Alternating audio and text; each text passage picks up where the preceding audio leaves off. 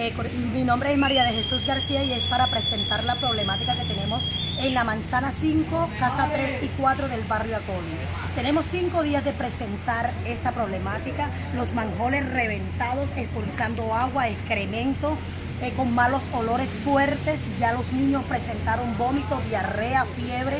ya hay epidemia y Metroagua no nos da solución al problema. Vinieron algunos, eh, algunos funcionarios y destaparon eh, otro manhole, pero nosotros queremos que nos traigan el carro que bombee, que succione de tal manera y limpie eh, todo lo que es alcantarillado para que así cuando llueva no volvamos a repetir este suceso.